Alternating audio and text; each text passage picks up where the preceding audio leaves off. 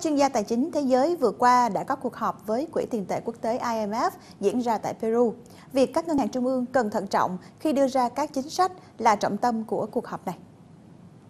Theo giám đốc Quỹ tiền tệ quốc tế IMF, dù các ngân hàng trung ương toàn cầu đã tung ra nhiều gói nới lỏng tiền tệ kể từ cuộc khủng hoảng tài chính, thì thế giới vẫn đang mắc kẹt trong mô hình tăng trưởng không có gì nổi bật. Cuộc họp với IMF diễn ra sau khi Ngân hàng Trung ương Nhật Bản cho thấy các dấu hiệu nước này đã sẵn sàng mở rộng thêm chương trình nới lỏng định lượng để hỗ trợ kinh tế.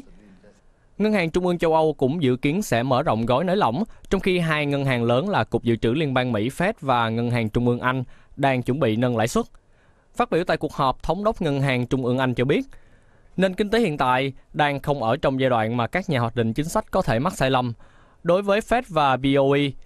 Mục tiêu lạm phát vẫn còn ngoài tầm với mặc dù cả hai đều cho biết đã sẵn sàng tăng lãi suất dự kiến vào cuối năm nay. Tuy nhiên, IMF đã kêu gọi Fed, Nhật Bản và châu Âu nên chờ đợi cho đến khi nền kinh tế có những dấu hiệu phục hồi mạnh mẽ và ổn định hơn. Đó là chưa kể những thị trường mới nổi vốn từng là khu vực tăng trưởng nhanh nhất thế giới, giờ đây cũng đang trong tình trạng hỗn loạn.